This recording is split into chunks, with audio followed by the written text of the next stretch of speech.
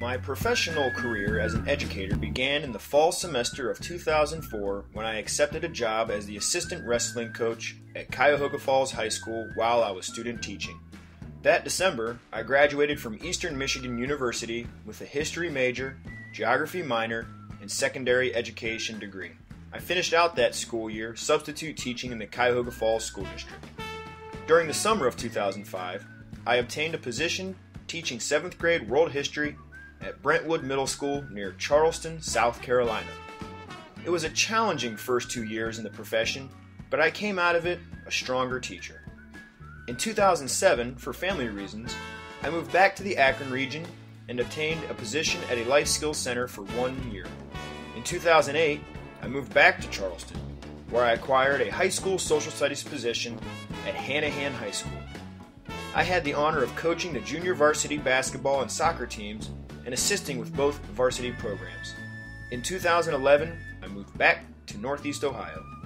In a tough market, I was able to land a position teaching ninth graders world history at Northeast Ohio College Prep in Cleveland.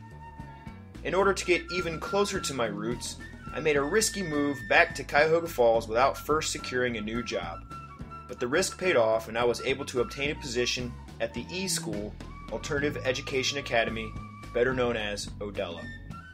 I would have preferred being in a classroom where I feel my strengths are better utilized, but this position taught me a great deal about how to implement technology in education and it exposed my deficiencies in that process. That is why I decided to pursue a master's in instructional technology instead of administration as I had originally planned.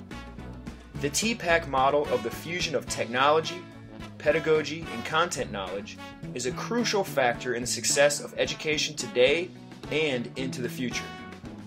My plans are to move into a leadership role, most likely as a school or district's technology coach. By helping teachers better implement technology into their pedagogy, I'll be able to broaden my positive impact on students and their future.